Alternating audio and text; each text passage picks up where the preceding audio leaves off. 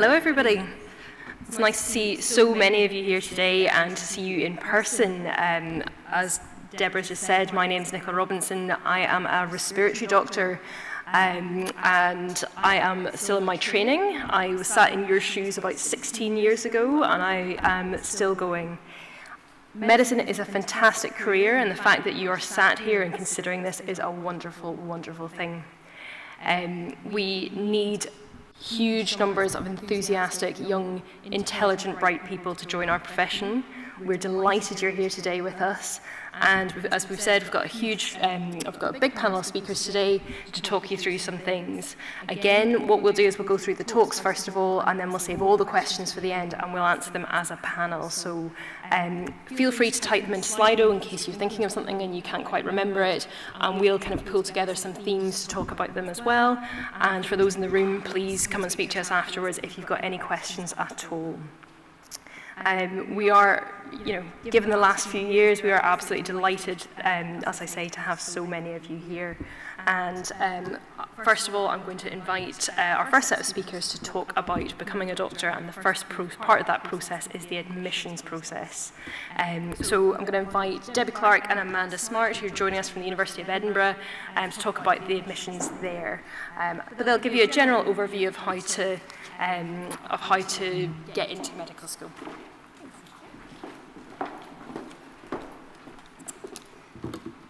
Hi everyone, it's good to see so many of you here with us this afternoon. So unfortunately you have myself and Amanda with you today. You should have had Professor Lorna Marson, who is a kidney transplant surgeon most of the time, um, but she's also our Dean of Admissions, but unfortunately she's been called away to do a, a kidney transplant this afternoon, so we have stepped in um, just to give you all of this information that you'll need if you want to apply for medicine at the University of Edinburgh, which is where we're from. So we're just going to take you through a summary of the admissions process, first of all. So we thought we would start with the standard academic entry requirements, which you've probably already looked up about a thousand times, but we'll just talk you through them uh, generally. So in terms of if you're doing SQA qualifications, you need National 5 English, Maths, Biology and Chemistry, preferably all at grade B. If you don't meet that grade B at Nat 5, but you're doing that subject at higher, you can kind of trump that grade at higher. So say, you know, you slipped up and you got a C, maybe for English, but you were doing higher English, as long as you meet our grade requirements at higher, we just kind of ignore that grade C in English at Nat 5. You need five SQA highers by the end of S5 at grades uh, A, A, B, and you must have chemistry and two other sciences, so you can choose from either biology, maths, or physics. So biology, it can be either biology or human biology. If it's maths, it can either be straightforward mathematics or it can be application of maths at higher. We accept that too as one of the other sciences. And then in S6, we go on to ask for two advanced higher highers, both at grade B and we don't have a preference for subjects at all. If you're doing A-levels, anybody here doing A-levels today? Nope. Yeah, one at the back, yep. Okay, so we look for GCSE, same subjects as Nat 5, so it's English, Maths, Biology and Chemistry, all at a grade B or a 6. And then you need your three A-levels and one set of exams, um, and they have to be at grades AAA. And again, you must have chemistry and then you can choose from either biology, maths or physics. So biology, again, can either be biology or human biology. Maths can either be maths or further maths, but we wouldn't accept both. So you couldn't do chemistry, biology and human biology, and you, or you couldn't do chemistry, maths and further maths. We only accept one of the maths and one of the biologies. Anyone doing the International Baccalaureate here today? No, no hands that I can see. Oh yeah, there's one there, okay. So for the IB, we're looking for 37 points overall, and that includes your um, theory of knowledge and your extended essay. And then you need 667 at higher level, and again, it's the same subject requirements. You have to have chemistry, and then one from biology, maths, or physics. Biology must be taken to at least standard level if it's not one of your higher level subjects, and we look for standard level English and maths both at a grade 5. And for um, maths, we accept analysis and approaches and applications and interpretation, so either of those maths. Um, I don't, I do, we don't have any graduates in the room, I don't think. Are we all school, at school here? No graduates? We'll not go, we'll not go through the graduate requirements. So I wanted to talk to you just a wee bit about um, Flag Plus. So Flag Plus is part of our widening participation um, programme, so I'll talk a wee bit more about the criteria for that in a minute. But if you qualify for a plus flag with the University of Edinburgh, the requirements are slightly different, so you'll see that they drop slightly. For Nat 5, it's just the same, but higher, it's 3 A's and 2 B's. Subject requirements are the same, advanced higher, 2 C's. And then it's the same if you're doing A levels or the IB, that requirement just drops slightly for you. So flag applicants, so flag and flag plus applicants, both these sets of applicants as part of our widening participation policy. So um, you can click on our web pages later on once this is finished. And if you, you just google in Edinburgh University's website widening participation or widening participation offers, widening access offers, it'll explain what the criteria is for both. And there's actually a really useful data checker so you can enter your details into that data checker and it will tell you if at the University of Edinburgh we would consider you a flag applicant or a flag plus applicant and it's based on a lot of things it's based on things like where you live, what school you go to, if you have any care experience, if you're a refugee or asylum seeker. So it's, it's, based on a lot of things. So it's always good to go in and check that, and then you know which entry, entry requirements you have to meet. So as a flag applicant, you have to meet the standard entry requirements, but as a flag plus applicant, you only have to meet our minimum entry requirements. And if you're a flag applicant, you get additional consideration in terms of we give you additional academic points just to boost your application a little. If you're a Flag Plus applicant, you get a lot of additional consideration.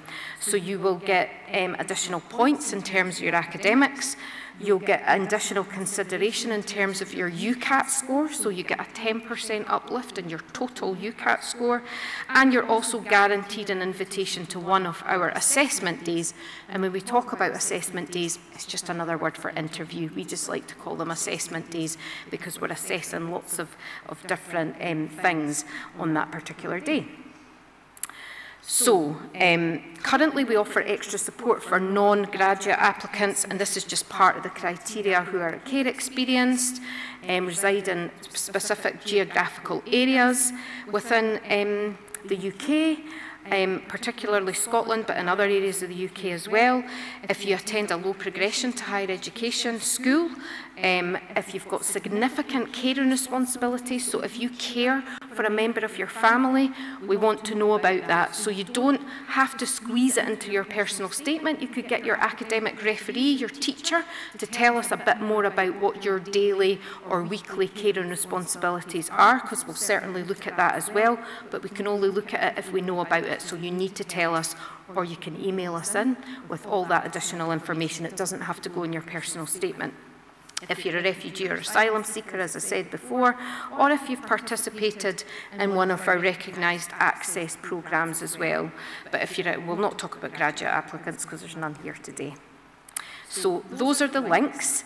Um, I don't know if you'll be getting copies of these slides at the end, but we can give you copies of these slides at the end so you can follow those links and lead, read a wee bit more about that. So I'm going to hand you over to Amanda now so that you're not bored listening to me prattling on. Um, I'm going to let Amanda tell you a wee bit more about UCAT and how we use it at Edinburgh. Hi everyone, so yeah, I'm Amanda, um, and as Debbie just said, I'll just begin, I'll talk to you about a few of the different components we'll look at when we assess an application. But first of all, um, yeah, we'll talk about the UCAT. So, as well as the academics, which Debbie kind of went into a little bit of detail about, UCAT is another of our entry requirements that we look at in the assessment process. So this is an essential part of the application um, and you must take the test just prior to applying.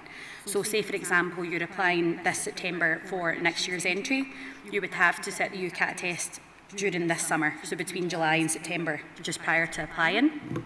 Um, the booking and test dates and also the available test centres, they're published on the UCAT website. Um, and also um, we have a UCAT webpage on our Edinburgh Uni web pages as well. So um, that all that information is there for you. Um, what we'll say first of all, uh, we get a lot of questions about the best way to revise for the UCAT.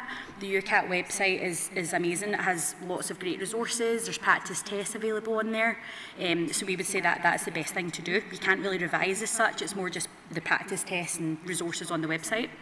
Um, Also, we'll ask you, don't send your results to us because we'll receive them directly from UCAT.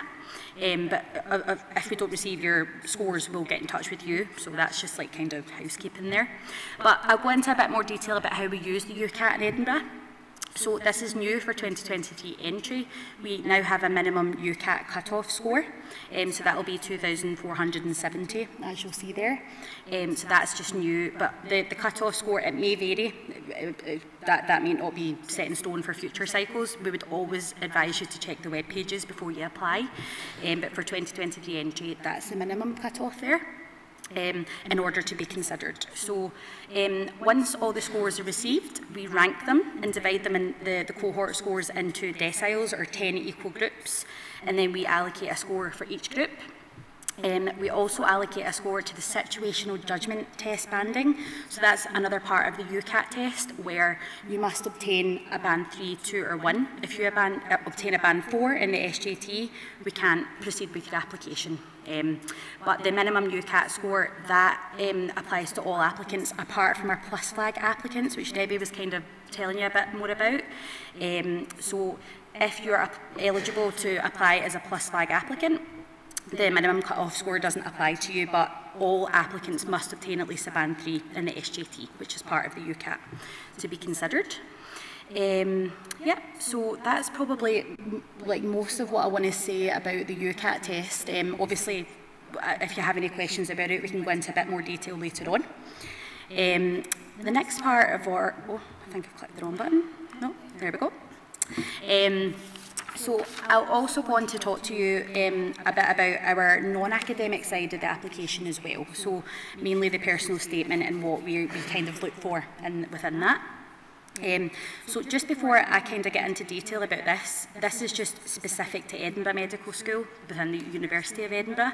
Um, we don't formally assess the personal statement in the assessment process, but would, again, we would always recommend getting in touch with other institutions if you're applying elsewhere. This is for Edinburgh Medical School. We don't formally assess it, but it, is, it provides you with an opportunity to tell you tell us about yourself and it also um, forms essential preparation if you are shortlisted to our assessment days or interviews. Um, so obviously it's important for that so you have more experience to draw upon, um, more to, to talk about, etc. But we don't formally score it. So basically, as you'll see here, we kind of look for three main components within the personal statement. So the first, your personal qualities and skills. So examples include empathy, um, your interpersonal skills, your communication skills, um, your ability to communicate, um, which is obviously important for being a doctor. Um, what we'll say is we don't recommend, uh, as, as much as it's amazing to read about all the amazing skills you possess and all the, the, the amazing experiences that back it up, we don't recommend a long list. Basically what we'll say is focus on you know, a few key skills and a few key experiences that you've undertaken to reflect on this and rationalise how that would make you a good doctor. Um, so, for example, how can you evidence your team working skills? What, what experience have you undertaken to show that? That's kind of what we're looking for, like reflection, not so much just like a list of many, you know, we value the quality over quantity of experiences, basically. Um, so that's like your personal qualities and skills. We'll also look at evidence of career exploration. So again, um, you know, any work experience that you've maybe undertaken. Um, any, so for example, shadowing health professionals or in health promotion, working in a nursing home, for example, um, volunteering with disabled people, like any kind of voluntary work that you've done. Um, even just speaking with doctors and medical students and attending events like this today, this is all amazing things that you can mention within your personal statement. Um, Also, yes, open days, medical conferences and lectures, as I said. Um, also, we understand during COVID it's been tricky um, for you to get, you know, hands-on experience. So reading, watching and listening to medical themed literature, we, we, we like to hear about that as well. Um, any digital, digital content or articles that you've, you've studied or read, read on. Um, and yeah, so again, we've got some links. Um, I think the, the, the bottom two links there, which you'll get if we, we send the slides around. It's quite, um, it's got quite good information in there about how to get valuable experience, do, like kind of from during COVID if you can't get any hands-on experience. There's some good um, virtual um, experiences there that you can you can get. And then also the kind of third part we look at is your non-academic achievements and interests. So we do want to read about you, like how you balance your work and life, like your work and your personal and study life, how, how you balance that. Obviously, medicine can be a demanding subject, so um, it's important to maintain a healthy study-life balance. Um, so, for example, involvement in any community groups, um, extracurricular school responsibilities, so if you're a prefect or a captain, something like that um, any leadership leadership positions, um, and any if you have like a part-time job, for example, we like to, to read read about that. Um, any cultural, sporting, vocational or voluntary achievements. So one that we see quite often is the Duke of Edinburgh, for example, if you've, you've undertaken that. Um, and then again, just your general interests and hobbies. We, we, like to we like to read about it. We like to get to try and get to know you as much as we can within the personal statement. Um, so yeah, really, it's a, a chance for you to tell us about yourself, but just keep in mind that it's not, for, it's not formally assessed, but it is important preparation if you are to be shortlisted to our interview. All right, so um, I think just the final bit I'm going to speak about is um, so how we assess your application basically. Um, so the screening process. Um, so basically as you'll see here, um, this is how we weight um, your, each application. So basically your academics, that's worth 25%. So the academic part is, for example, your National 5, higher and advanced highers. That's your, your predicted grades and your achieved grades. That counts for 25%. Then the UCAT score, which is by decile, as I mentioned, that counts for 17.5% of your application. And then the SJT, which is the situational judgment test, which is the, the part of the UCAT, but we kind of weight it separately. That's 7.5%, so that makes up your first 50% of your application. Then um, we shortlist the, the, approximate top scoring 700 applicants to interview at assessment day. And then the second 50% is your assessment day scores. Yeah, so that's like how we assess each application. That's the weightings there. Um, so basically our team check all the applications just to make sure, first of all, that the criteria has been met, all requirements have been met, and they are assessed and screened by two members of staff independently. Um, an important tip to remember is to basically the, the portal that you will be on as part of my ed is called Euclid. This is um, will be requests like further information from you, say for example if there's missing details in your application, um, a top tip is just keep an eye on it. Always keep an eye on that and your emails because there might be like essential information that we're asking for in order for us to assess your, your continue assessing your application. For example, if, um, if your personal statement hasn't been included or if we need a predicted grade or something like that.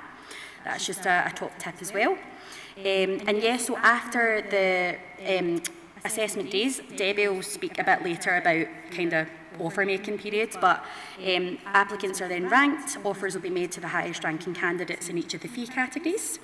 And then, yeah, um, Debbie will talk a bit more about what happens kind of after that. So I'll pass you on to Debbie. She's actually going to speak to you just now a bit more about our assessment days or interviews.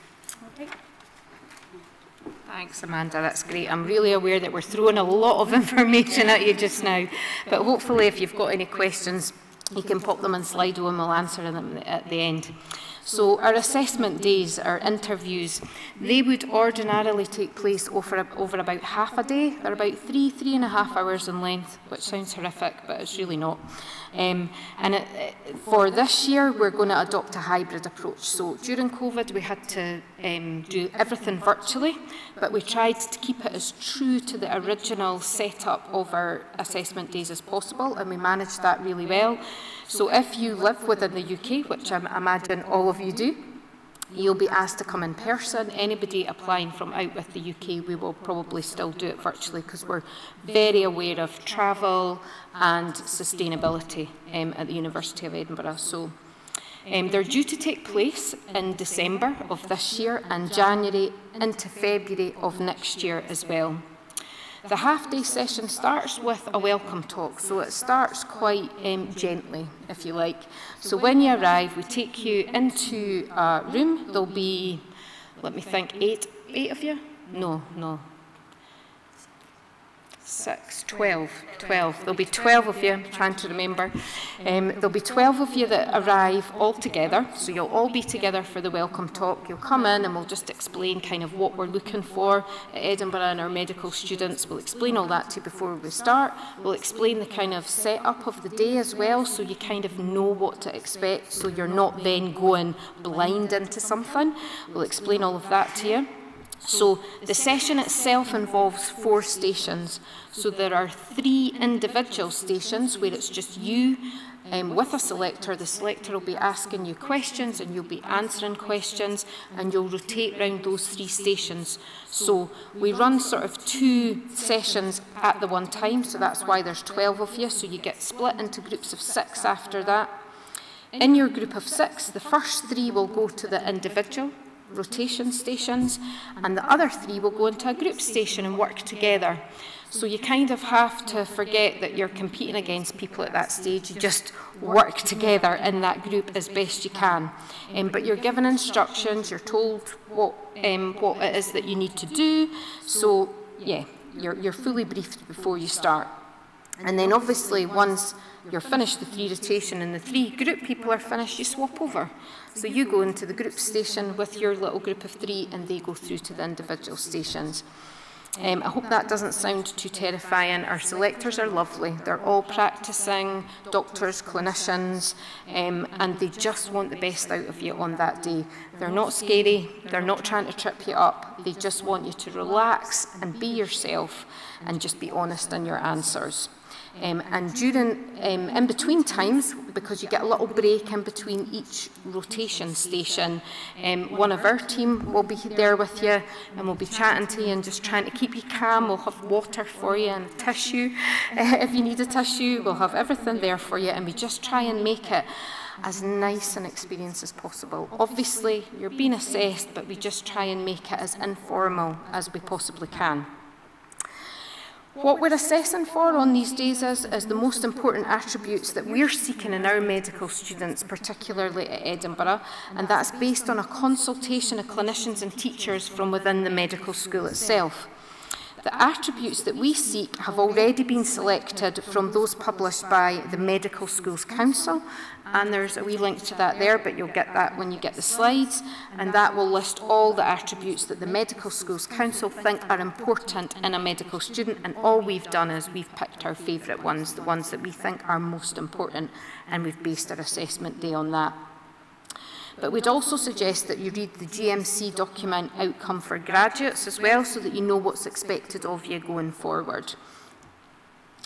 Um, so as I said, it's not a typical MMI format. You're typically placed in groups of six. The individual stations last for 12 minutes each, and you get a wee break of three minutes in between, just enough to just take a breath and have a glass of water and calm yourself down. And what we say to you is, if you think that station's gone badly, it's okay. You get a chance to start afresh with somebody who hasn't met you yet. So just try and take a breath and go in and start again.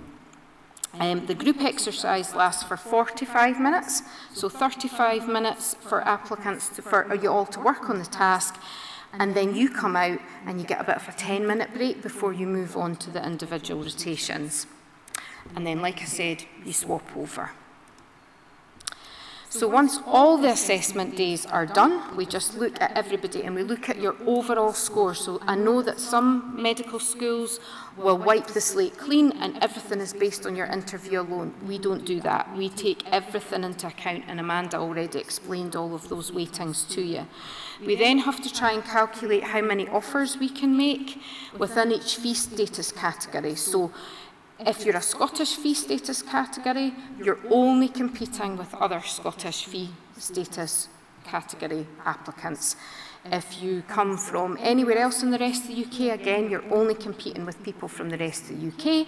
And if you're European, or overseas and you're an overseas fee rate, you're only competing with them. So it's not like the whole cohort are all competing with each other. Medicine's a controlled subject, so that means that the Scottish Government tells us how many places we have for each fee status group to come and study with us. I mean, it's no secret to anyone that medicine is hugely competitive um, that's a fact, and there are not enough places for the amount of wonderful applicants that we get through our doors. But what I would say to you is, no matter where you study, try and not get fixated on what medical school you want to go to. You may have favourites, you may have places that you think, I really want to go there, and that's good, that's fine. But wherever you manage to get a place, you're going to be a doctor at the end, and that's the most important thing. So be sure to contact all of the institutions that you're interested in and try and figure out where you're going to have the best chance, where your profile fits best is probably the best advice that I could give you. So if you do get an offer, what happens now? So you, if you're accepting us as your firm choice at the University of Edinburgh, if you apply to us and you choose to come to study with us, you get lots of guidance after that on what you need to do next. So every medical student that studies in Scotland has to become a member of the Protect and Vulnerable Groups scheme. So we get all of that in place before you actually start on programme. You might be asked to upload verified copies of documents. As Amanda said earlier, the best advice we can give you is check, check, check your emails all the way through the process. Check your emails. You'll be given a sign-in for the University of Edinburgh portal if you apply to us. Check that portal regularly. It is not the first time that somebody has been rejected from the process because we've asked them for vital information, they haven't met the deadline. We've given them a second chance. We've emailed, back that up with an e email saying we really need this information and we need it by this date and we don't hear from them. So we can't keep going back to applicants again and again and again.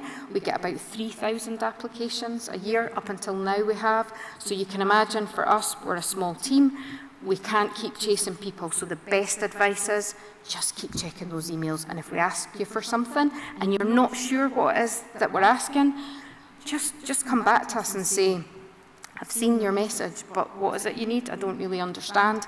Just come back and ask.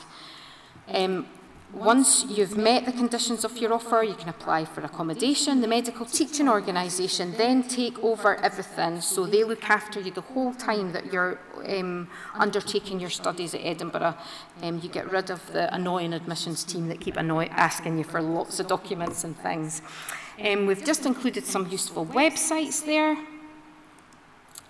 and just any questions. Obviously, we're not taking them just now, but just pop them into Slido and we'll be happy to answer them at the end. So I hope you found that useful. We've just thrown everything at you now, but um, any questions, just get back to us. Thanks so much for listening.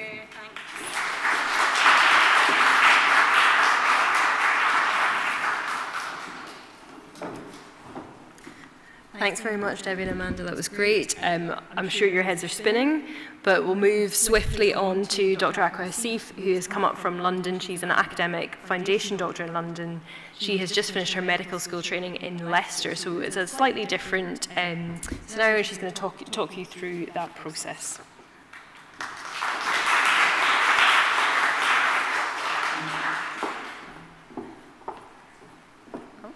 Hello, can you hear me? Awesome.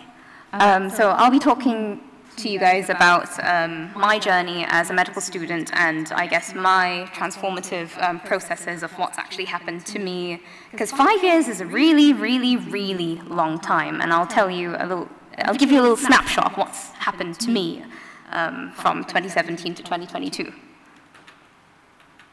So, I'm Dr. Akwa. I'm an academic foundation doctor, and what that means is that I'm a junior doctor and I do some research on the side. And most of my research is in both urology and clinical education. I'll talk more about that later on. So, as I said, I was part of the five-year program in Leicester, and that can be divided into two. the preclinical phase, which was um, years one and two, and then the clinical phase, years one, sorry, years three, four, and five. And I'll be talking uh, to you guys about them um, separately. So for the preclinical phase, this was more lecture-based. I was sat in the lecture hall for most of my time, um, and this was purely university-based. What I learned, I learned about physiology and anatomy, which you guys will be familiar with doing your A-levels. Learned about the pathology, what, what can go wrong. Pharmacology, because we need to prescribe medications to our patients, so we need to know everything about the, the drugs that we prescribe to them. And throughout um, years one and two, Leicester Medical School at least, we um, were taught some communication skills, and we um, got to go to the hospital um, ever, like, you know, every two, three weeks or something, just a couple of sessions, just so we could get exposure to patients. But essentially, uh, they threw the entire human body at us that we had to learn only in two years. And that was, you know, as you can imagine, quite stressful. So, of course, we had extra help throughout, because it is very stressful. And it was amazing because um, we had help from the senior medical students, so the year twos, threes, fours, and fives would come in to um, you know, lecture us and give us their um, hand-me-down notes. And it felt really, really supportive. Because um, one of my colleagues mentioned the GMC um, guidance. As part of that, we are expected to continuously teach each other. And I guess from medical school, from the get-go, you, you do teach the junior medical students. And yeah, as I said, and I alluded to, it was very stressful, and I spent a lot of my time doing these. And a lot of you should recognize the logos on screen now, and if you haven't, I'm disappointed um, on my behalf. Um, but yeah, so if I wasn't studying, I was spending my time on these. Um, parents, I'm sorry, but that, that, that's literally what I did to prevent, uh, you know, burning out. And now, I'd like to talk to you guys about um, my clinical phase. And that was for three years. And there are three main points I'd like, you, like to talk about. So clinical obviously meant going on to placement. And I mostly spent my time in both hospitals and in GP practices. And that was both in the main city, um, so Leicester, Peterborough, all the big cities, but also in the rural areas, where some of the, um, I guess there are less um, populated areas that need care. Um, and most of my time was doing GP or medicine or surgery. Another thing that really stuck out to me were the exams. Obviously, you guys are very familiar with them. And this is the only slide that I put an, um, you know, an emoji because this has pretty much summed me up. Um, my exams were split into two, in writtens and OSCEs. And writtens are very similar to your already, you know, if you've done your GCSEs, they're very similar to your A-level exams. Um, we have multiple choice questions and we have like small essay-based questions. Um, but with OSCEs in particular, um, obviously this is where you really learn and they assess you to see if you're, you know, capable of being a doctor. Um, so they made us diagnose, they made us manage patients, and they made us um, do like simulations um, that we would experience in the hospital as a real junior doctor. But third, and this is something that I really wanted to focus on, we need to think about the future and how you will align with it. And as I said, in five years, you will grow both professionally and personally. And I'll take you guys through my little journey because I think I've really, really made something for myself where I transformed my interest from Fortnite to urology and clinical education. So there's an amazing word, ikigai, which is Japanese for sense of being. And I think when you're at medical school, you will really unlock that for yourself. So I have identified that I love being a doctor, and I'm getting paid to, to be a doctor, which is great. And uh, maybe not yet, because I'm a junior doctor. i I've literally only been a doctor for like six weeks now, but hopefully I will be getting better at it. And, you know, the world needs, needs doctors. But when you combine all four of them, you can really achieve your sense of being, which is what Ikigai means. And if, you're, if you love something and you're good at it, it's just a passion if you're not being paid for it. If you know that's what the world needs and it's what you love, it's a mission. If you're being paid for it and you love it, but you're not really loving it, it's a profession. And it's a vocation if, you're, if that's what the world needs and if you're paid for it. But when you have all of them, that is where you can achieve a real sense of accomplishment. And it was in year three where I had my urology placement. And if you don't know, urology involves the human plumbing, or the waterworks, so bladder, kidneys, etc. And one of the consultant urologists told me that Aqua would be a fantastic name for an aspiring urologist, and that stuck with me. And lo and behold, I want to be a urologist. And yeah, I've, I've really found my sense of my, the reason why I feel like I'm meant to be here. And um, so on the left, you can see me with an amazing, he is one of the world's first uh, robotic urologists with the robot. And then on the right, I'm with some of the amazing urologists, and I felt really part of the team. And in the center is my lovely partner, and as I said, in your five years of being a med, med student, you will grow personally. And I can definitely say that I think I found the person I want to be with for the rest of my life. Because again, five years is a long time. And just as a little shameless, shameless plug, that's him. Um, he's big on social media, and he's also got uh, a session, a little series on interviews, which may help. And if you haven't watched him, I'd recommend because your applications are or interviews will be coming up. But yeah, with getting rid of that shameless plug, uh, I am, as I said, Dr. Aqua, and I think I really, really have found what I want to do. Um, so clinically, I have identified that I want to do urology, but on the side, I also am keen on doing research and leadership. And throughout my medical school um, journey, all five years, I acted as course representative, which is a leadership role, and a lot of you will have had done your, you know, your prefect, etc. role, and you can still carry that on at med school.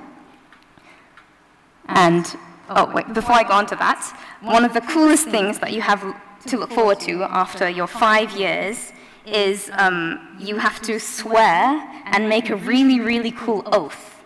Um, it's, the, it's basically like a little modification of the Hippocratic Oath, and um, you have that at the end of five years at your graduation ceremony. And at least for my medical school, we have, we elect someone, and for some reason they picked me to do it for my cohort. And this is cheesy. I will give to my teachers, colleagues, and students the respect and gratitude that is their due. I will share my medical knowledge for the benefit of the patient and the advancement of healthcare. But yeah, no. You got the gist. I hate hearing my, myself, but that is an amazing opportunity as well.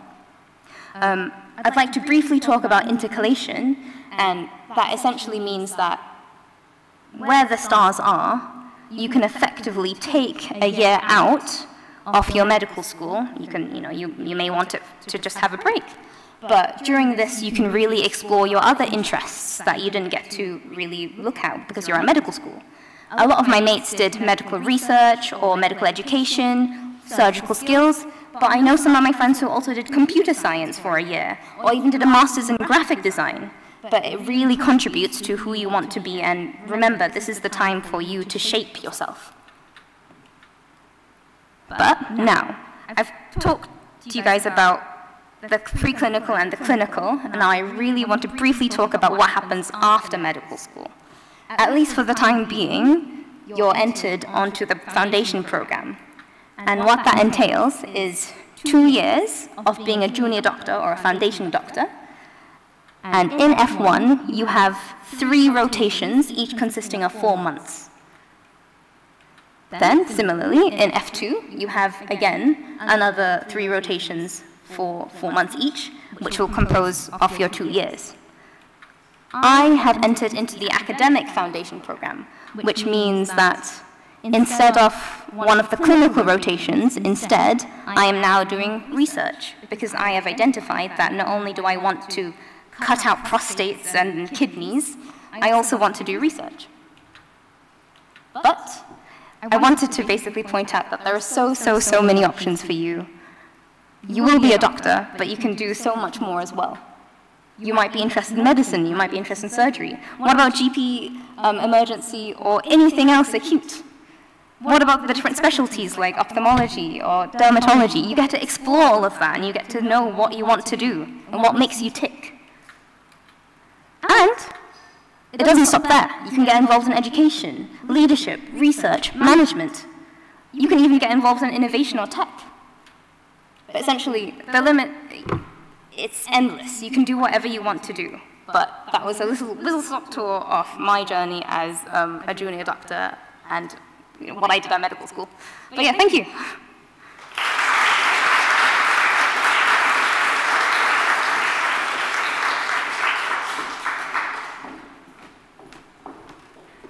Thanks so much, Chakwa. That was fantastic. Um, I think that's probably cheered everyone up after listening to the scary admissions process. So this is um, hopefully a good thing. And I'm going to hand over to Dr. Catherine Abinjo. She is a consultant cardiologist and she is um, an advisor for the National Clinical. Uh, I'll let you let you.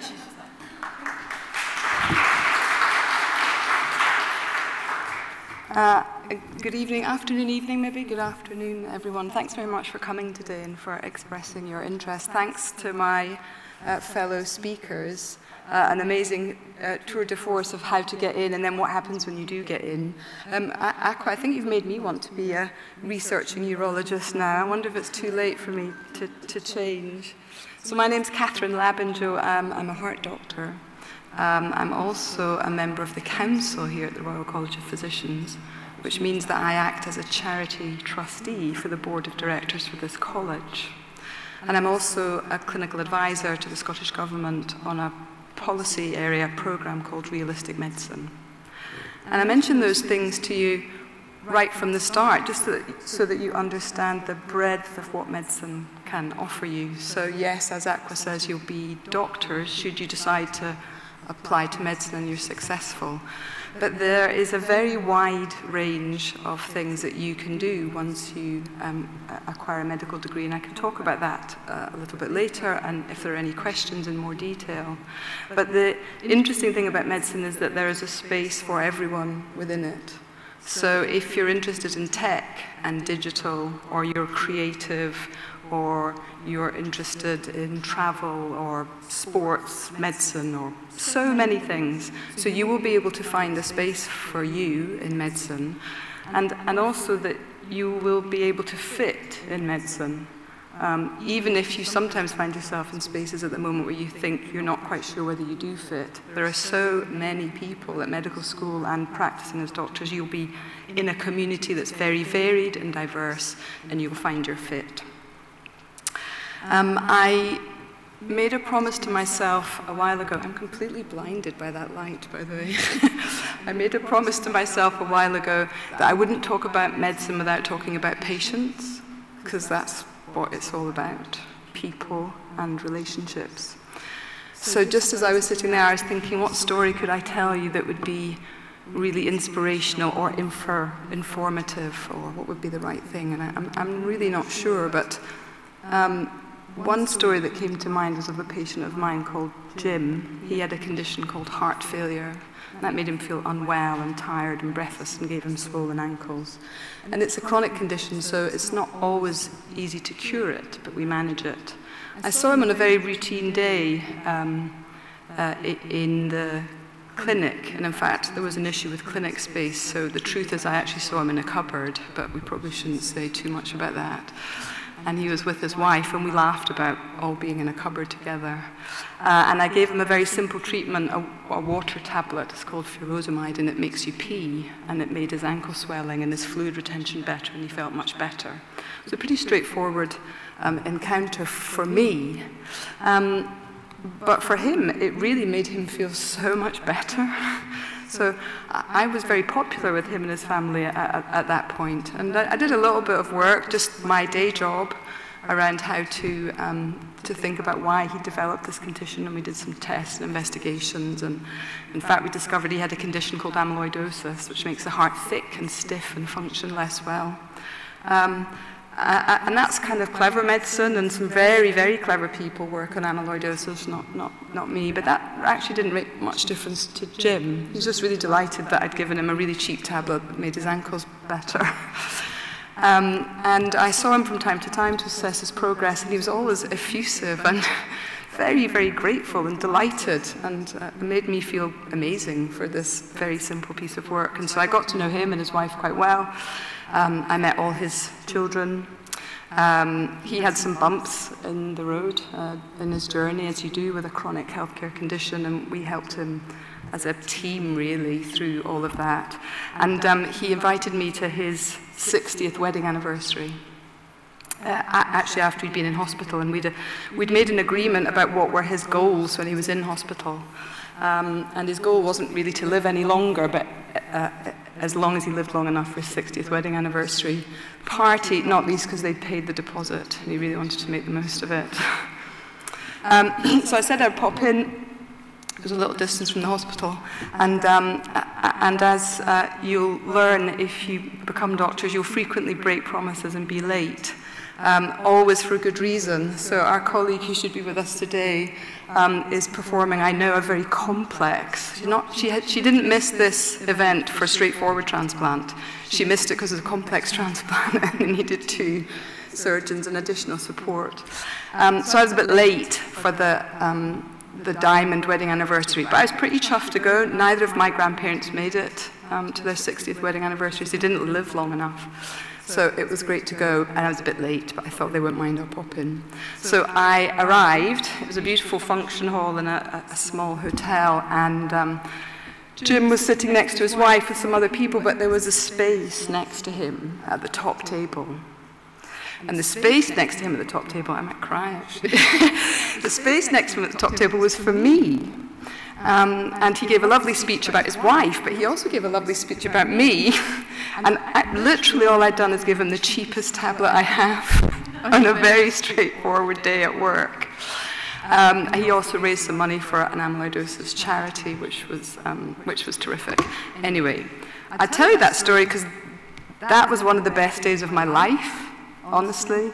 I felt um, so touched to have been included in um, what is often the, the hardest, most difficult day for the people that you'll be looking after. So we see people as our routine on the worst day of their lives, often.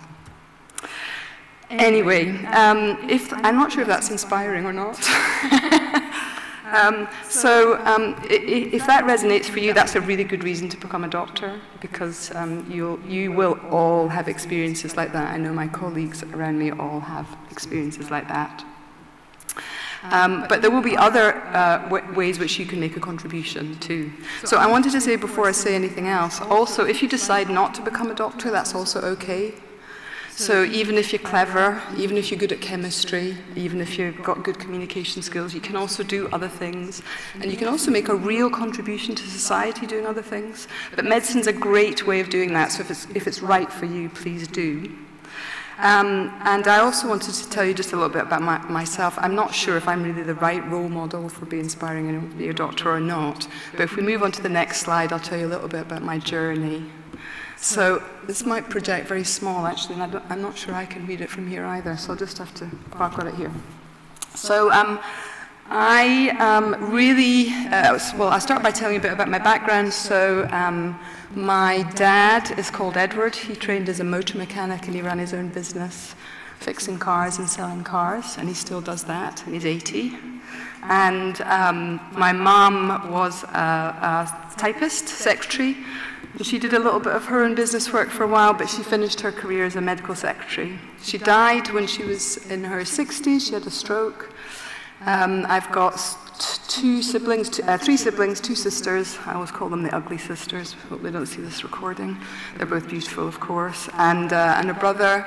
I've got two children. Neither of them are in medicine. Neither of my parents went to university. Um, I'm from a mixed race family. My granddad is from um, Nigeria and my granny's from Shetland. And that's a really great story if you've ever got time you want to hear about that.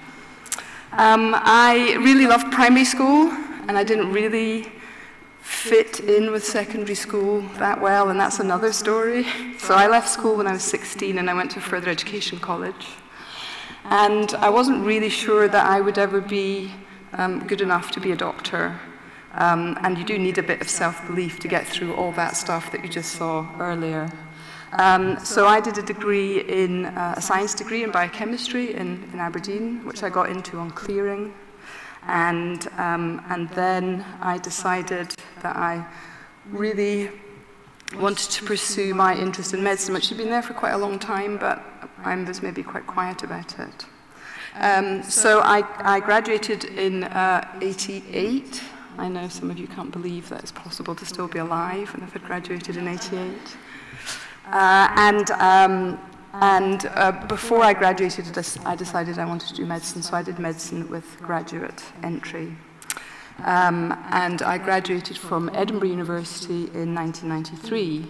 Um, and I'm, I'm going to um, just give myself a little pat on the back after that journey by saying I graduated well into the top of my class and with honours. So I'm, I'm proud of that. I'm going to take a bow. um, I did house jobs in Edinburgh. Then they were called house jobs, now they're called foundation uh, year jobs. Um, and I, with each stage in this uh, journey, just loved what I was doing more and more and more. So the pre-clinical years of medical school were okay, pretty interesting actually. As you described, you get to learn everything about the most fascinating thing you know, which is yourself. And um, the clinical years were just brilliant. That permission and that time to spend um, with, with patients, really, really interesting. I loved my house jobs, although they were very hard work, but we worked in a great uh, team, uh, really supported each other, worked alongside other kinds of healthcare professionals, and I think that's the other thing you should remember, that you can't do anything on your own. Doctors are completely rubbish on their own, just so that you know. So we need um, a huge barrage of people um, around us, nursing staff, um, clerical staff, admin staff, support staff, all those people that make a healthcare system work allow you to flourish as a doctor. So if you don't enjoy that kind of multidisciplinary working, you really won't enjoy being a doctor because you'll be uh, isolated and lonely and not able to be effective. Um, uh, towards the end of my house jobs, I sat an exam, uh, which was the membership exam. So you're, you're interested in applying to medicine, but we, having become doctors, then treat medicine as a subspecialty of the, the, of the whole thing. So, as Aqua said, you can study medicine or surgery or other disciplines, general practice, obstetrics, etc., etc. So I chose to study medicine uh, and I did an exam to allow me to become a member of the Royal College of Physicians, and physicians uh, that's the name we give to doctors who practice medicine. And um, that person sitting right there, that's where I took that exam, in that, that desk right there. I'll never forget it. it was really tough. I passed, but it was really tough. Um, but I sat in this room and I looked around this room. It has an amazing history, of course. But I didn't see anybody in this room really who looked like me. So there's nobody on the walls who looks like me. For a start, they are all men. Well done, ladies. It looks like we're bucking the trend today. Um, and I just want to use that as a reminder for me to make sure that you know that we need a really diverse range of people in medicine. We can't have a group of samey people who think the same and hope to look after the people that we live with in our communities. So I can't encourage you enough not to be put off by anything you think about yourself that means that you think you won't be able to, to be a doctor. Just forget all of that. There really is, the future is bright for people of all backgrounds, colours, genders, um, sexual orientation, religious affiliation, whatever. We really is an inclusive family. Um, so uh, that's also a prompt to remind you, as Aqua said, that you, if you become a doctor, you will be both a student and a teacher for the rest of your lives. And we sit a lot of exams in medicine. So, whilst there is that wonderful part of the communication with patients, there's also quite a rigorous part, an academic, disciplined part, which continues well into your careers um, for, for, quite a long time. Um, and, and, I continue to do research and studying and exams. Uh, I mean, I, I, you know, well into my 40s. So. Uh, I went, uh, I, uh, I did a medical, what's called a medical rotation, and that allowed me to study all kinds of different disciplines, and that's maybe where I got first really excited about being a heart doctor, doing cardiology. Um, but then I took a little break and I went to Africa after I'd passed my physicianly exams and worked there, and that was terrific. Um, everybody told me not to go, so obviously I went. Um, but what I would also say is that, um, you know, sometimes you should do the thing that uh, just feels right for you. And medicine actually does allow you a lot of flexibility to do these things, even if it's not the tick box way of doing stuff. So if you speak to um, uh, doctors, you will find many people have had a wiggly path to get to where they've got. And the, the people with a wiggly path are really interesting. so even if you don't get in this time round and you're interested and you do something else and you're still interested and you think about graduate or you think about a different way of contributing within healthcare, that, that, that's, all, um, that's all fine. So I did some research, a formal research degree between 97 and 99. That was sponsored by the British Heart Foundation, so I was paid by the British Heart Foundation to do that.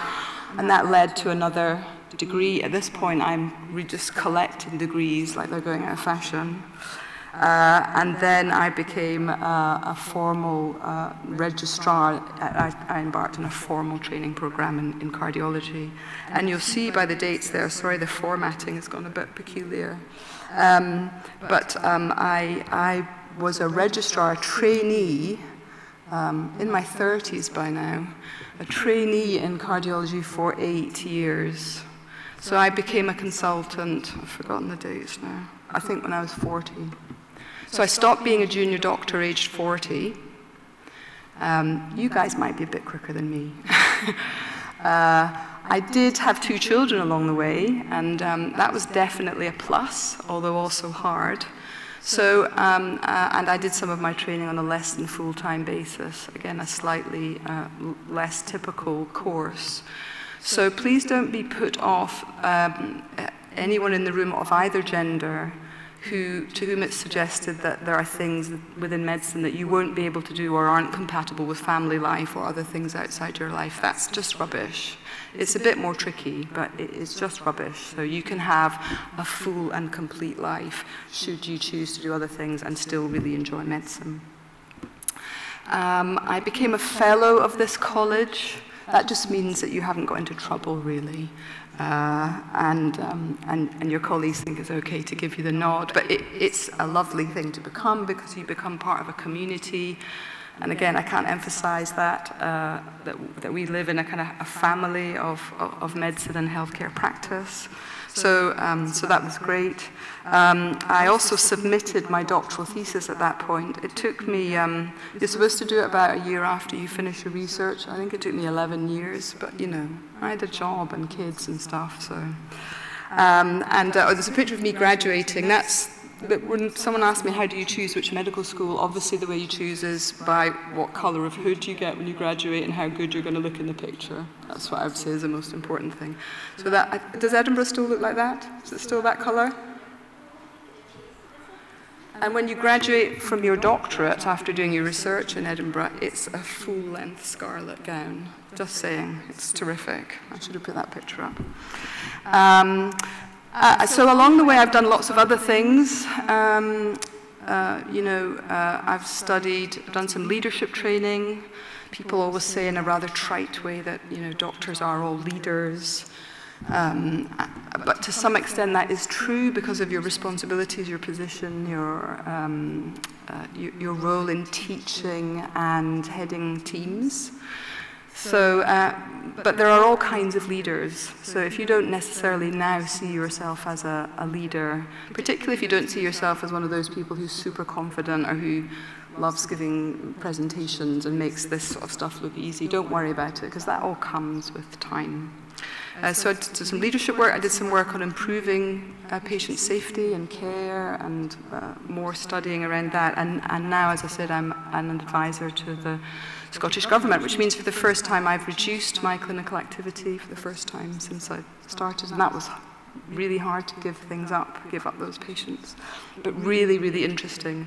And at all points al along your career in medicine, that's one of the things that's fantastic about it as a career. There continue to be opportunities to learn and do things differently. And that suits me really well. Not because I get bored, maybe a tiny little bit easily bored, but um, just because constantly developing and, and finding out new things is, is great. Next slide, please.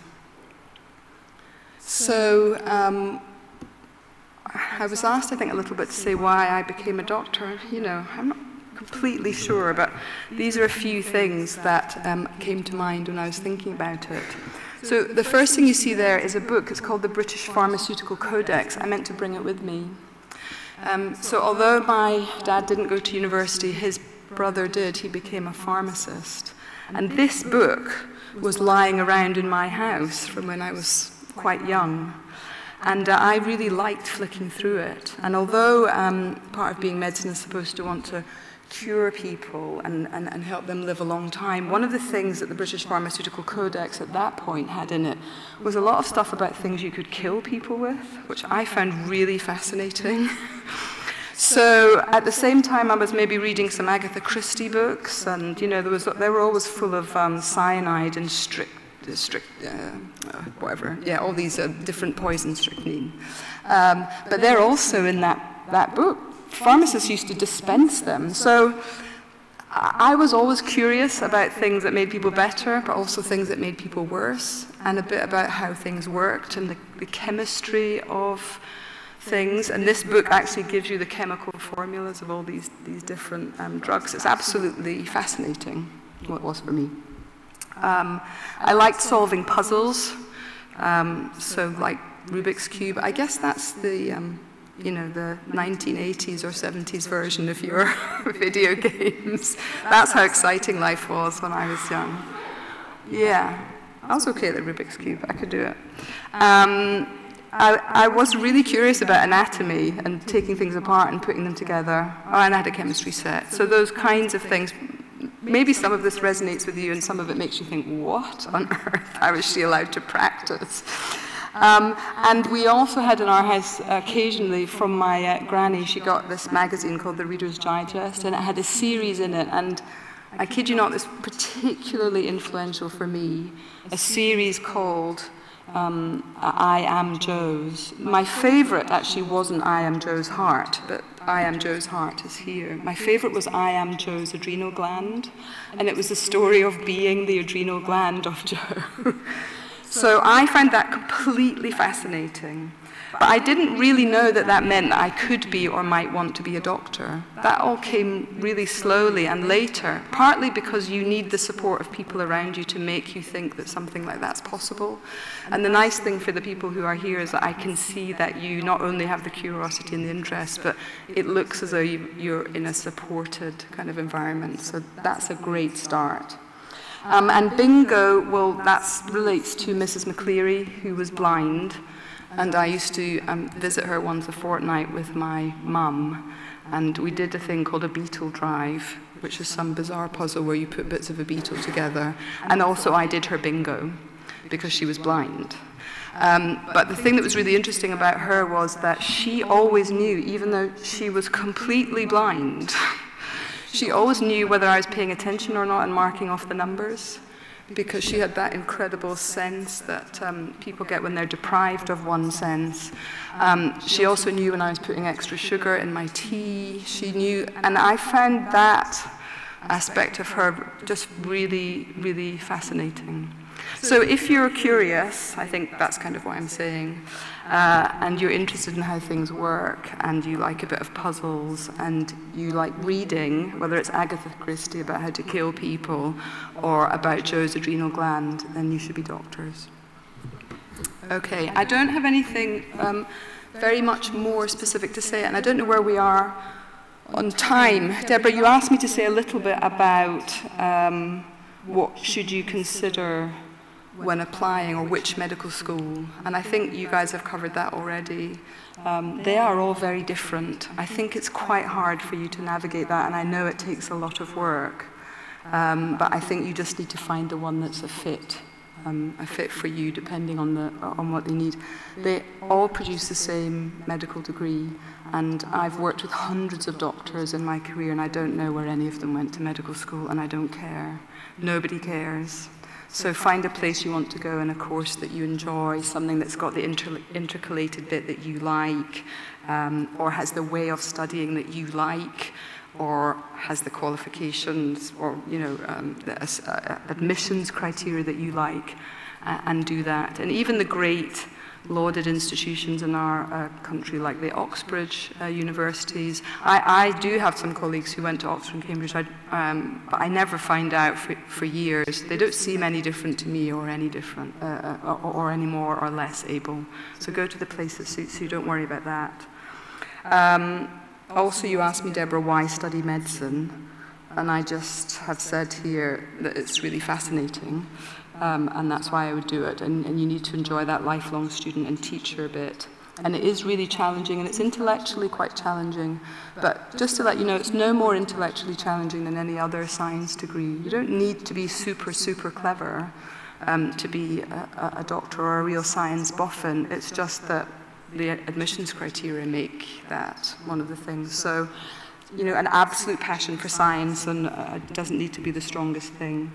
Um, and um, I think you also said what happens after graduation.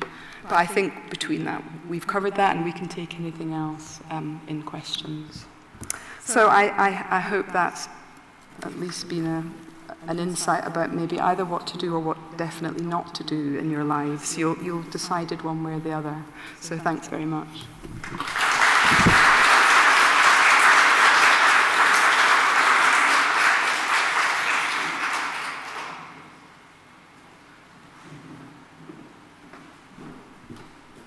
Okay, so that was another really inspirational talk and just shows you how varied we can be as doctors. These are just two of the stories that you've heard today. Um, Aqua is still very early in her journey, and, and Dr. Vinja was a bit more, uh, bit further on. Every single doctor you will meet will have a different story. Um, and it's just a case of asking the question and seeing what the response comes out as, and every one of you will have a different journey, it doesn't matter what it looks like. Um, so this is the question and answer part of the session. So I'm going to ask, we've got a few good questions on Slido, but also I want to ask if there's anyone in the room who wants to stand up and ask a question as well. Is there anyone feeling brave? If not, we'll go to Slido and we'll take a few questions and we'll discuss them as a panel. We do have someone who's got a, a microphone in the back, if you can see. So if you'll just raise your hand if, you're, if, you, if you'd like to, to, to ask your question aloud, someone is ready for you.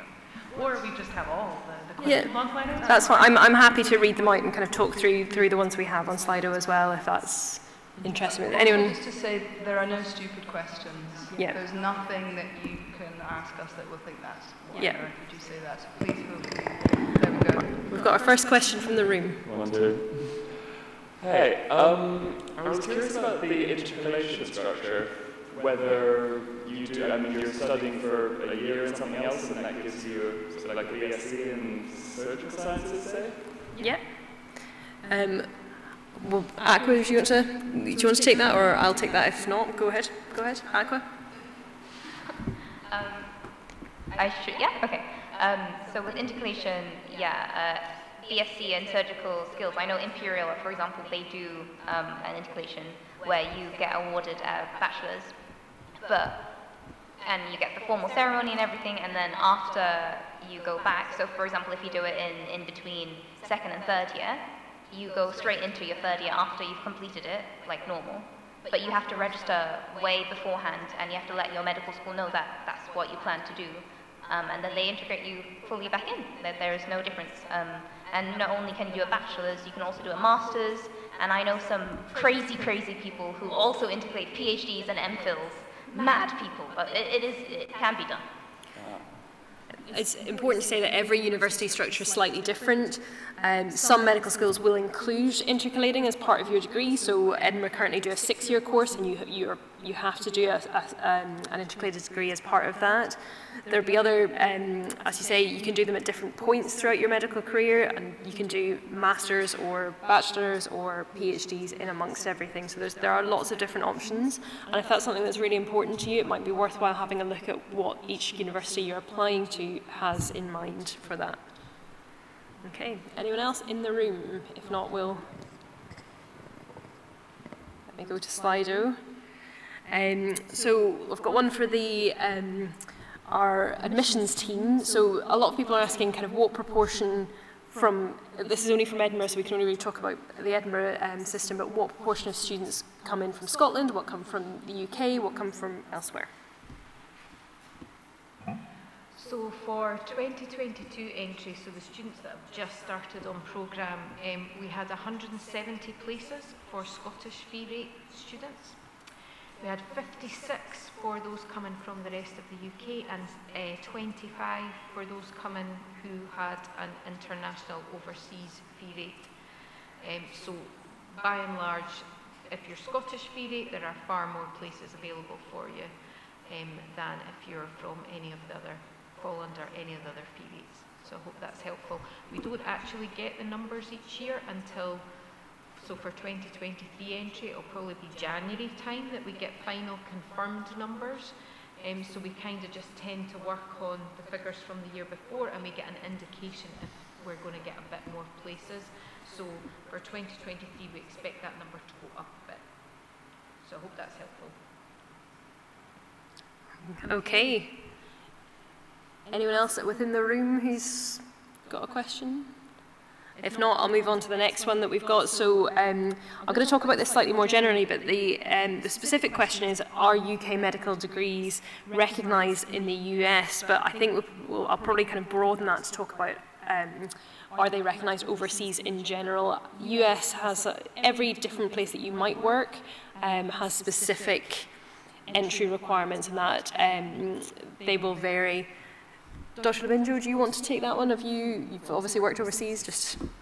Um, yeah, so I'm, I'm not very up to date, but the truth is that um, I, the UK medical degree will be recognised all over the world, but the regulation about how you are uh, permitted to work is variable and changeable. Mm -hmm. So yes, you can work in the UK, uh, in the USA, but they will ask you to complete their US boards exams, as far as I know. And actually, they vary state by state. They're not even national. So your medical degree still holds, but they will have some further evaluation that they want to do. Some uh, countries have, uh, you know, a reciprocal arrangement where we recognise degrees, and therefore there aren't further tests that are required.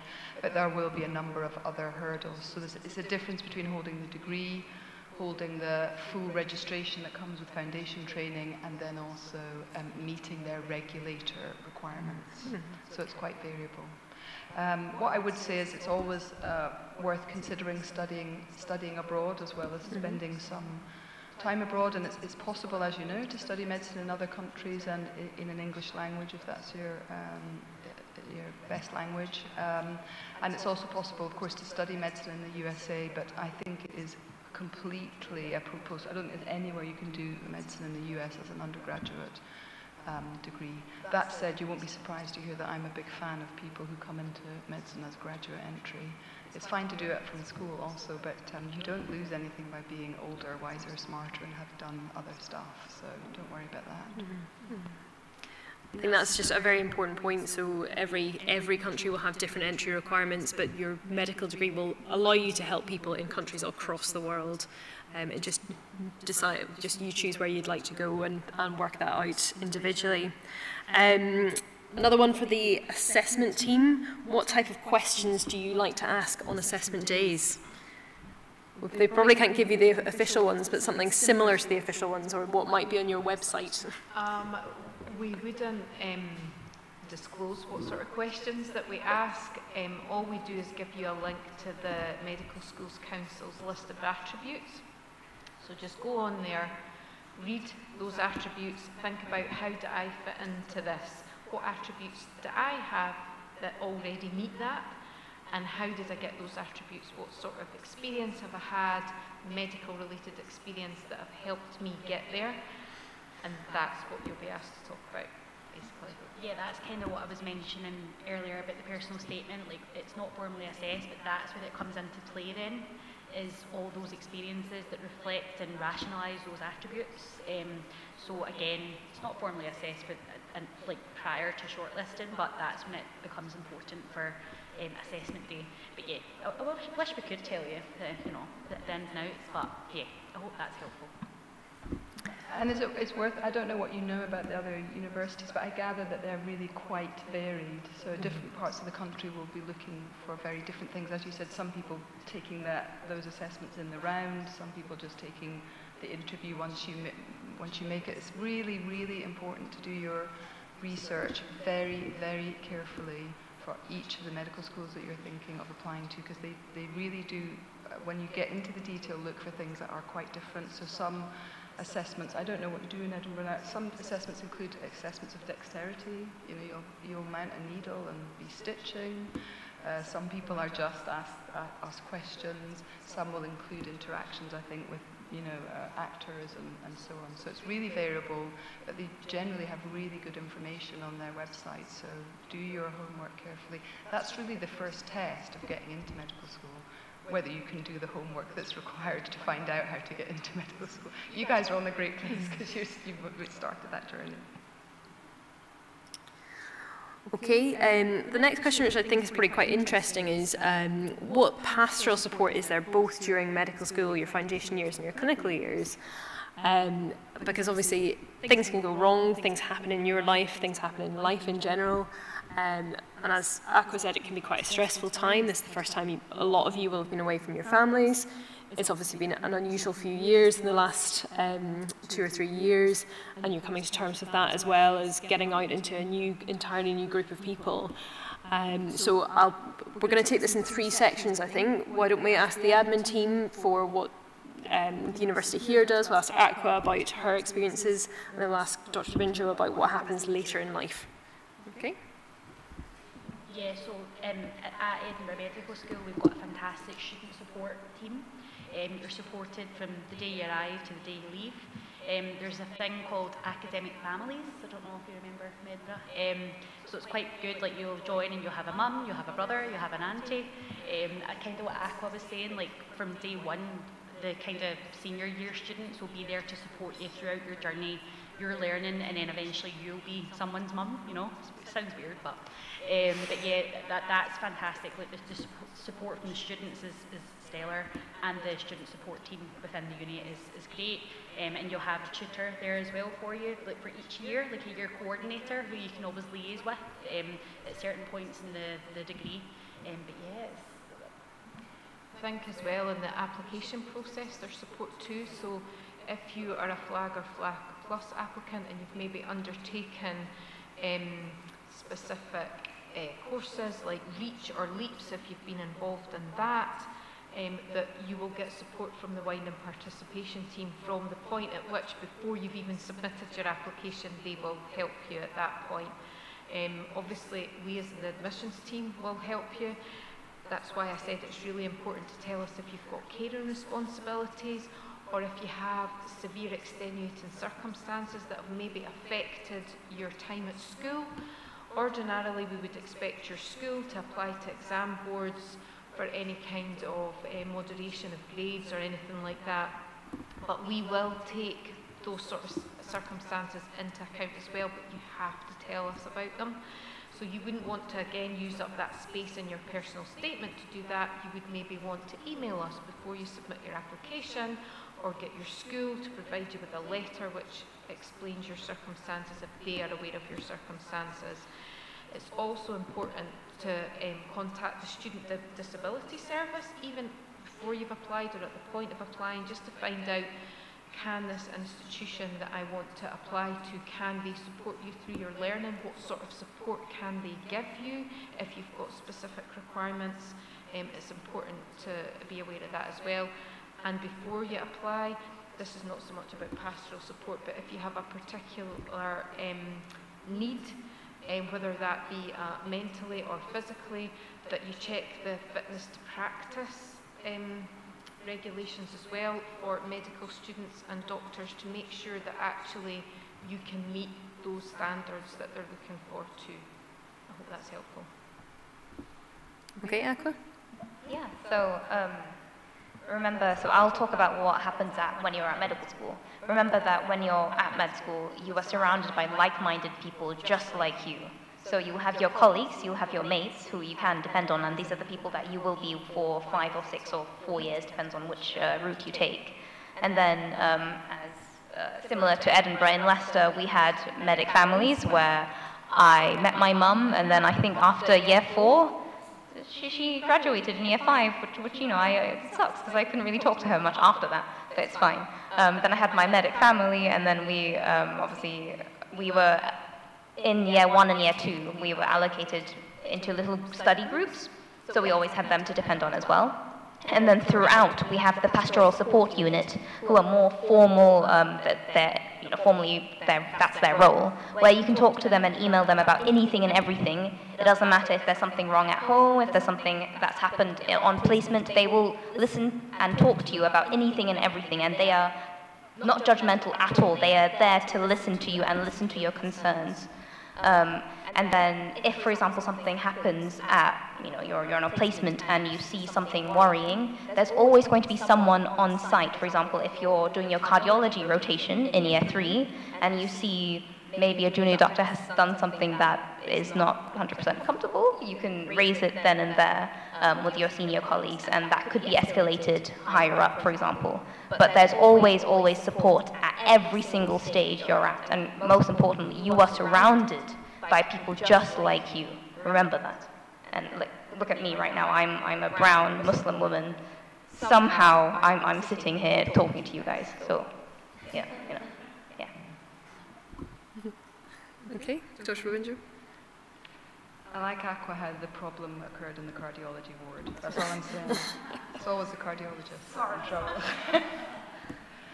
um, it, in medicine, we have a thing um, as part of our uh, regulation, which is called a duty of candor. Um, and that means that you have to tell it as it is. So, um, pastoral care, I believe, in UK universities could be better. And, and, and I think you don't need to read very far or very wide to understand that. Uh, and I'm telling you that as a parent, not as a cardiologist. So that could be better, and that's a worry. And we need to be uh, on top of that, and you need to think about that in the institutions you choose, and you should test that um, by looking at the student surveys and by asking hard questions to places that you go. Um, all universities look great for people who are having a great time, but the university you need to pick is, a, is the one that's going to look after you when you're not having a great time. And it's unpredictable, and some of us just don't have a great time sometimes for reasons you just never know what's going to happen. So I, I, I would say do that carefully. There are very many amazing people trying to improve the systems, I think, across the UK university, and they need to have a, a lot of credit for that. But it would be a lie to say that it's perfect. Uh, and there are things, um, even within academic families, um, particularly within sports teams, which you'll have heard around, around pressure to participate and be like other people, and, for example, uh, do things like rituals and alcohol consumption and hazing. Many of you will have perhaps experienced that at school already. I think it's a real problem. It's quite a UK problem, although there's a particular sports thing around it in the US as well. Um, and uh, all I can say is um, generally, if you speak up, you will find people who, who will help you. Um, so the really important thing is not to feel under pressure, not to speak up. It's just really, really important to share. Um, and then um, you'll, you, you'll often find help. And, and the same is true, I think, in training programs and even in um, the consultant workforce now. And you'll read things about burnout. It's quite scary. But the other thing to say is that um, sometimes if you're not feeling great, it's not your fault, it's the system around you and the structures around you, and we need to really work together to get those right as, as well. So sometimes when things aren't feeling quite right for you, there isn't actually anything you can do about it. You need to speak up about it, let other people share that burden, take some of the weight. And um, I think it's our responsibility, everyone who's associated with the college, to speak up and be honest about these things and, and do better. We're doing much better than we were, but there is still work to be done. Thank you for that. Um, you know, it's really important to say that we, we work in a team. Medicine is a team sport. It is a you will never be left out on your own, and all you need to do is speak to a colleague you're comfortable speaking to, and things will happen. A problem shared is a problem halved. So I think that's probably. Um, I think we're just about out of time. Debbie, is that right? One more question. Um, okay. Uh, we'll do a quick one on work experience then, and how much work experience is ideal. So obviously, for you guys, the last few years has been difficult and things that your previous colleagues would have done to try and get into medical school will not have been possible. Um, there are many ways that you can, can show things. There's a, a second question about could you go and shadow a dentist. Anybody at all in any way medically minded or trained, it doesn't need to be a, um, a, a doctor specifically, it could be shadowing nurses, shadowing pharmacists, shadowing um, you know, working in a um, working with young children, it, uh, caring responsibilities in any way. There are hundreds of things that you can do to show that you have empathy, to show that you care for others, um, and to show that you're interested. I think that's probably fair. Any any other comments from the front? Yep, Dr. Binjo. Um, so I, have helped a, a, few people with personal statements and done some evaluation and so on and different things over the years. And um, I think there's far too much emphasis placed on work experience. You have no idea what it's like doing my job just because you come and see me do my job for a morning. So, you know. Um, what is really tells people apart is it's definitely not quantity of work experience. Mm um, but it is about the quality of work experience and it's also absolutely, for me, about your reflections and observations about what you've done. Mm -hmm. So I don't care what you do, really. I, I, I would be pretty happy with non-medical work experience, mm -hmm. to be honest. If you can tell me something about working with people, with relationships, with challenges, and you can reflect on that and your own role in that and, and what your contribution to that is, because that's what the practice of medicine is. And that's a very transferable skill. So it exists in many workplaces. So I think having some insight into the field is great, but as we've said, it's a very, very diverse field. So you, it, it is a generic uh, approach that you're looking for. It's something that just allows you to reflect on interactions and communication and so on, much more than it is about having met the professor of medicine and hung out with him for a week. Or her, sorry. Mm -hmm. Should have got that right. Yeah. Absolutely. Is that, we, I think we're a few minutes over time, so I'm just going to pass back to Debbie um, just to finish up. But thank you all so much for coming, and hopefully that was useful. The panel will be around for a little bit afterwards. If you've got any questions that hadn't been answered, we'll try and answer them for you. Thank you. Oh, sorry, we've got, got one extra. Um, I don't know if any of you are, are um, from schools where not very many people apply to or go to do medicine, but it's hard for those schools sometimes to know exactly what's required from the admissions process. It's not their um, routine.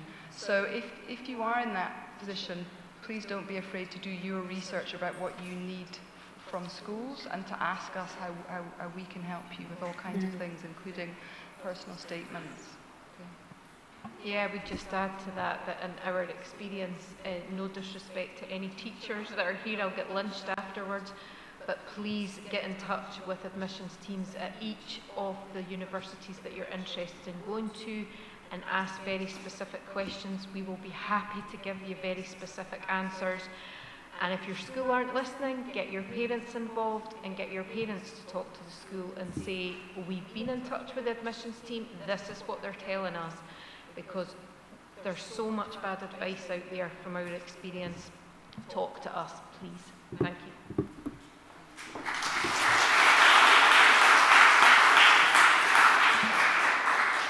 One more thing, and then you guys get to go home for supper.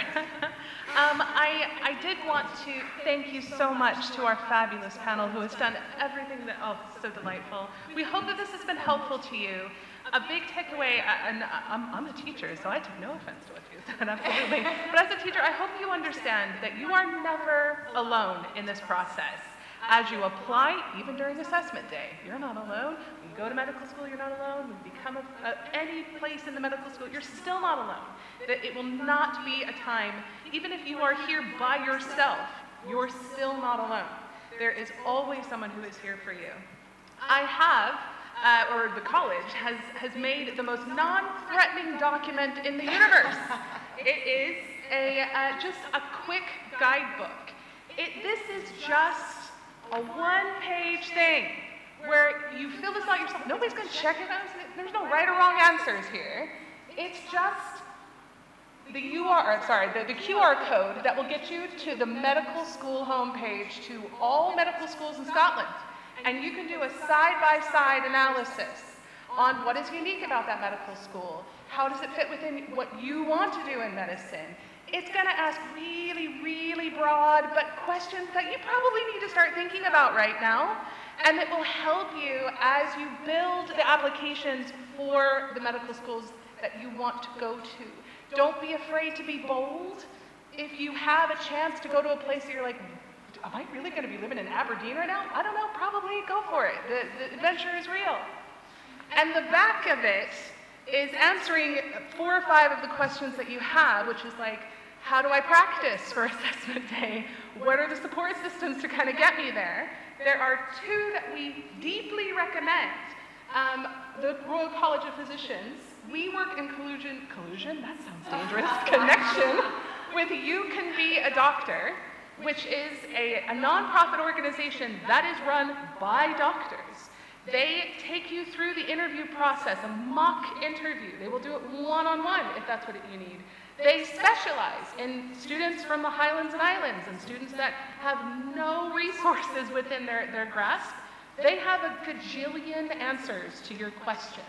So we highly encourage you to, to speak with them and they will get in contact with you. And if there's other teachers out there, we do physician visits that will come to your school and talk all about it. The next one is developing the young word force. And I feel like students in this audience may be like, oh yes, I know it. I see that banner every time I go to school. Every square inch, sorry, I'm a terrible American, every square centimeter of Scotland is covered by the developing young workforce. You have a representative, no matter where you are in Scotland. Hit this QR code up and find that person, and they will help you on this journey no matter where you are. So again, you're never alone. This is available to you as you leave. We're not trying to push you out or anything. Also, University of Edinburgh has given us these very charming uh, syringe pens that you should also take on your way out. But again, thank you so much and best of luck to all of you. Well done to all of you.